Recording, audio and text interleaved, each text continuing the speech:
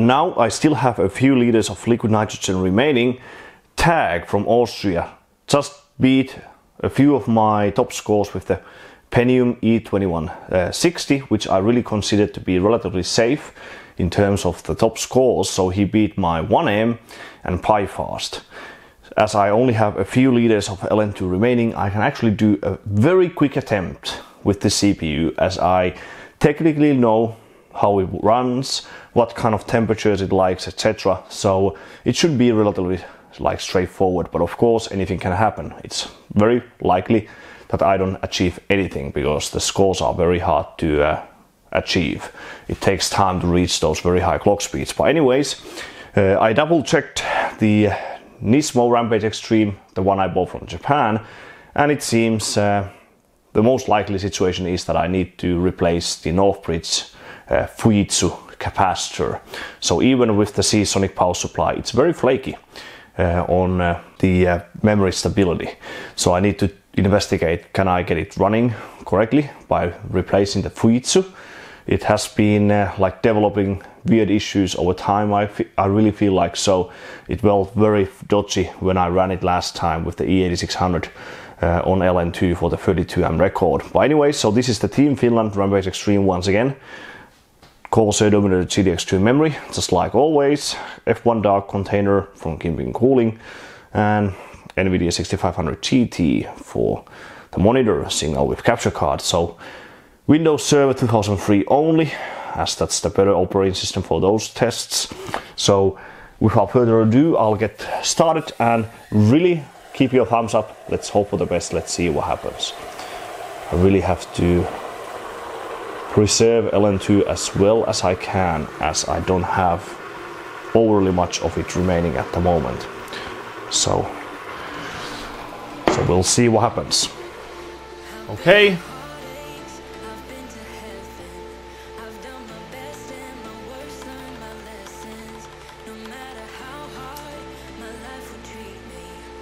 Nineteen point eight target in PiFast. Once one 46 at the moment.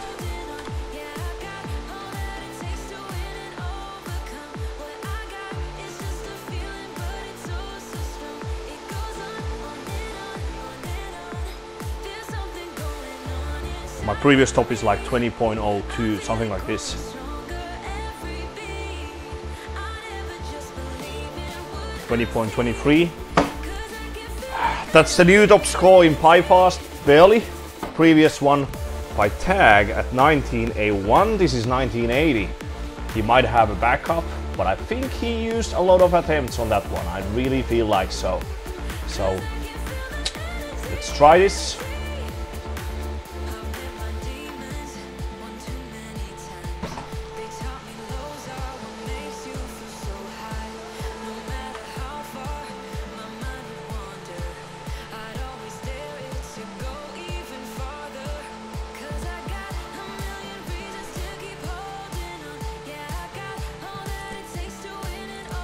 11.609. Not exact.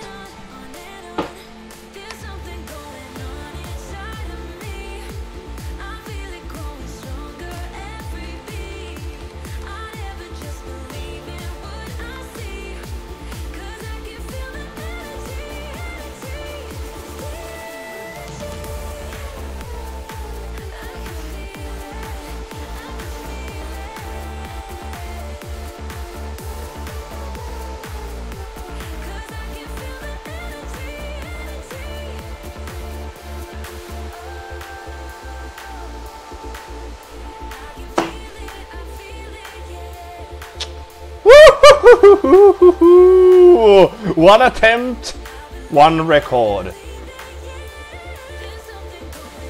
11.625 was my previous best, so at 5.1. So this is uh, uh, 11.562, so this is like 60 millisecond uh, improvement with just one attempt at lower frequency. Pretty awesome.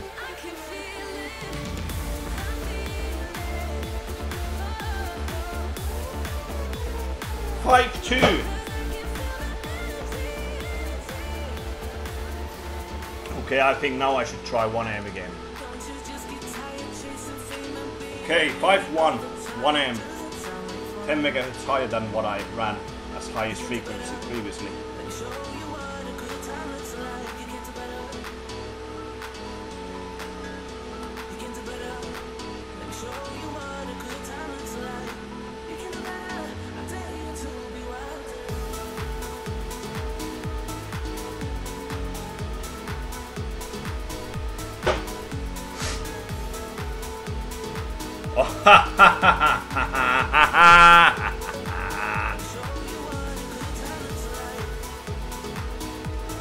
How do you feel, TAGG?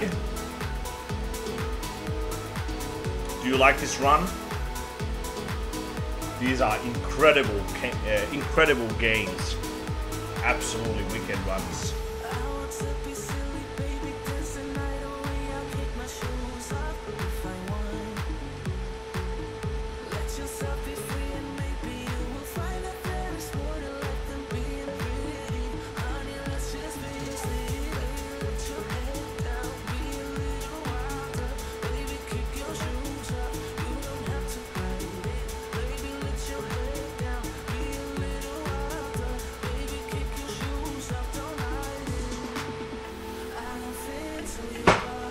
This should be better.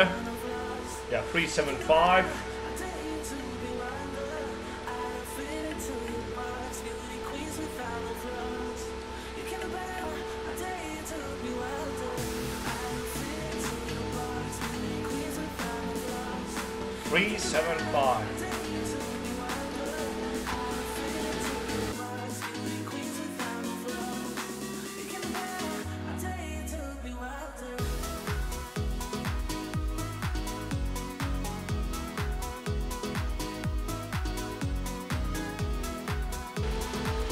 Okay, small improvement on the 32M. It could be a bit better. So this was like 3.4 second gain, I think. Uh, 3.2. So there's some efficiency issue. Need to check what's going on. Pretty okay.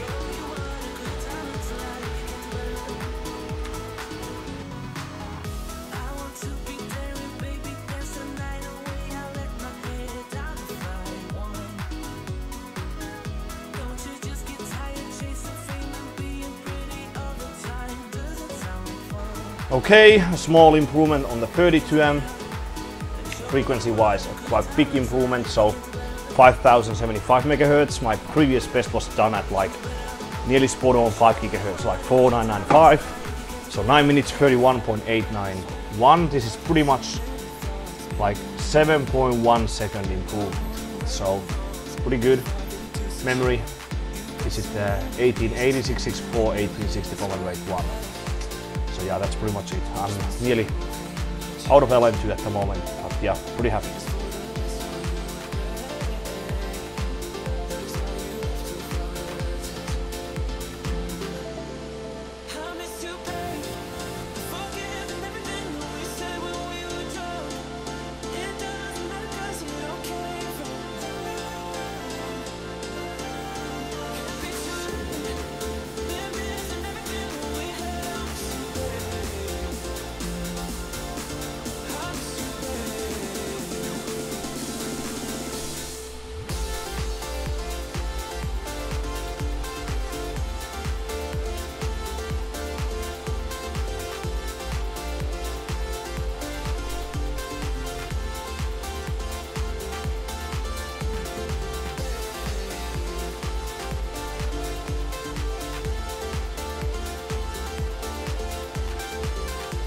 Five two.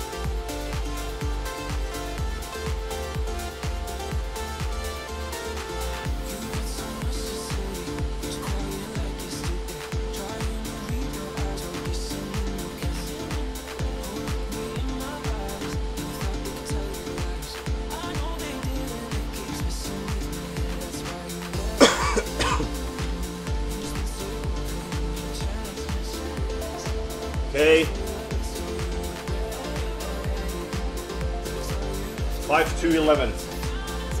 And okay, that went really well considering I only had maybe like 7 liters of liquid nitrogen remaining for these attempts. But I managed to do multiple different runs in PiFast, 1M, and even three successful runs in SuperPI 32M.